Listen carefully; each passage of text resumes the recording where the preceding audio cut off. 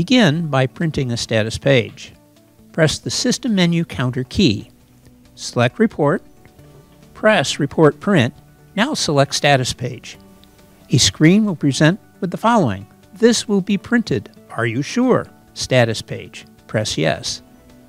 Upon completion, press the Home button to return to the home screen. After printing the status page, look for the IP address here. You'll need it later when installing the Mac driver. To download the latest driver, go to kyocera-document-solutions.us.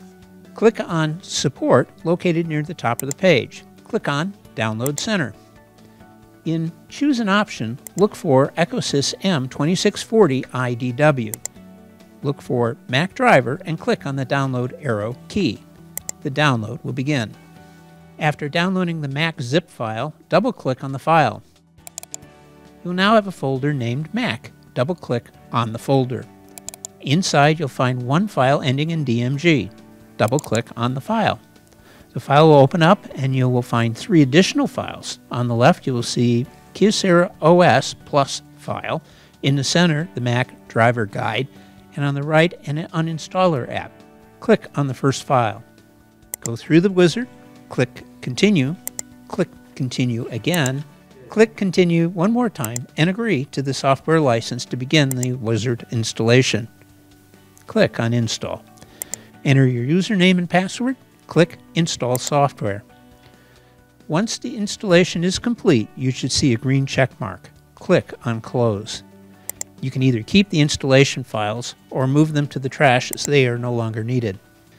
In the System Preferences page, select Printers and Scanners. Press the plus key and select the IP tab above the printer settings. Type in the IP address for your printer. The IP address is listed on the status page you printed out earlier. Now go to the next line, Protocol, and select Line Printer Daemon LPD. Leave the queue blank and click on Name. Enter a descriptive name of your new printer. Next, click on Location. You can leave this blank or you can name the location of your new printer.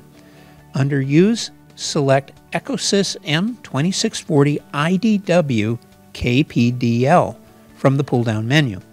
Click Add. Select OK. You may share the printer on the network by clicking on the Sharing Preferences button. You can also make your newly installed Kyocera printer your default printer, meaning any print job from the computer will automatically print to your Kyocera printer. Select the default paper size you'll be using. In most cases, you'll be printing US letter. Go back to the Preferences page and press the red Close button. You've now installed the Kyocera EcoSys M2640 IDW printer.